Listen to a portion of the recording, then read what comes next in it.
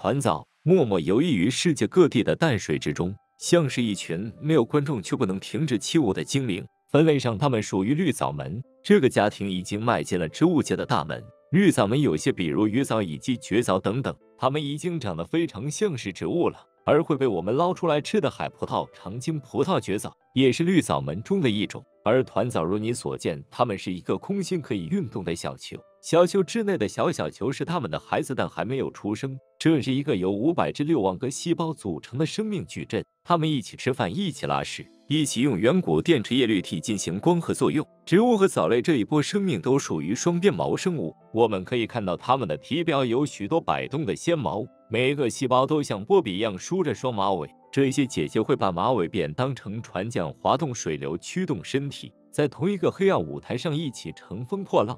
真核生物的另一个派别是单鞭毛生物，最典型的生物是只有一根尾巴的领鞭毛虫，这也是我们动物和植物及藻类的区别标志。曾几何时，我们也是有尾巴的，而如今，不管是细胞上还是在肉体上，我们的尾巴都已经消失无踪，只剩下一种细胞还在用自己的方式倔强地向我们的远古祖先默默致敬。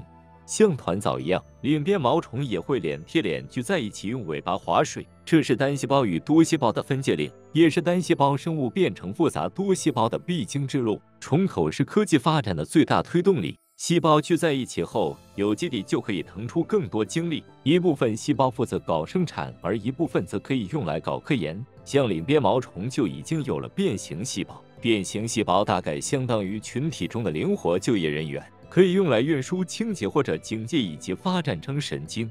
后续的演化过程中，我们这些动物纷纷将细胞科技填满。我们会让一些细胞变成用来防御外敌的皮肤，一些则变成储存能量的脂肪仓库，或者红细胞这种运输氧气的搬运工。当然，少不了负责警戒、消杀的免疫细胞等等等等。而领鞭毛虫的细胞科技路并没有走太远。几亿年来，它们依旧是最原始的样子。因为虫口不够，所以科技生产力并不充足，只会分泌出类似海绵古针一样的东西，这会让它们看起来像是一朵美丽的小花。对人类来说，这是来自进化旅途中的信物，它们能让我们看到我们大概六亿年前最原始的样子。领边毛虫和动物界的关系比较亲近，就好比今天的树区和我们灵长类的关系。虽然它没有被划归为灵长类，按照辈分，我们甚至要叫它们一声远古大姑。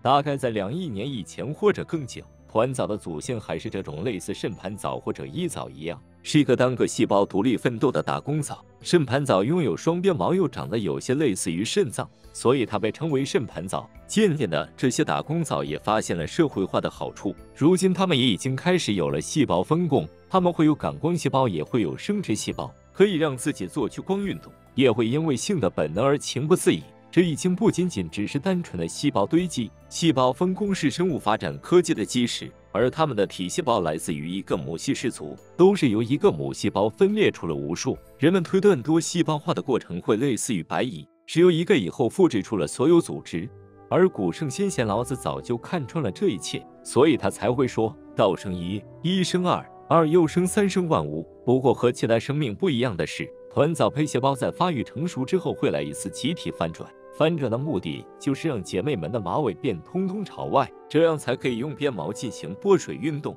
当然，这并不是一个独立自强的故事。孩子长大以后，母亲的体壁就会破裂开来。小宝贝们会争先恐后的去拥抱外面的花花世界，至此老一代的团藻的内心就彻底被掏空，他们会变成一个没有活力的空巢老藻。生活一旦没有希望，就会加速衰老。不管是人还是团藻，结局大致如此。在变成空巢老藻以后不久，团藏母亲的生活就在没有了期盼、丧失希望之后，一个鲜活的生命就会被遗忘在这无尽的岁月长河中。